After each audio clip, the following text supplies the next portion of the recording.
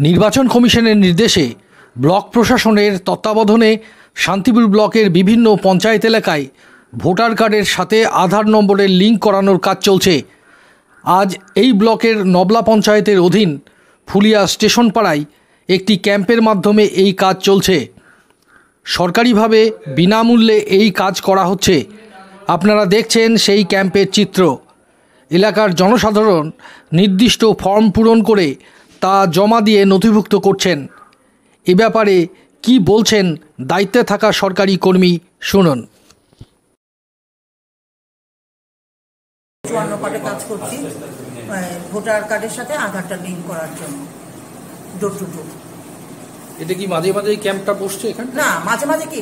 এটা টাইম ধরে দিয়েছে এক তিন তারিখ পর্যন্ত। তিন তারিখ এবার আমরা যেহেতু এর আগে একটা কাজ করলাম পঞ্চায়েতে যার জন্য দশ তারিখের মধ্যে জমা দিতে হবে। এই আর কি। বাড়ি বাড়ি গিয়ে এটা বলে ডোর টু ডোর কি নাম আমার? আমি কাজ করছি মায়া চৌধুরী।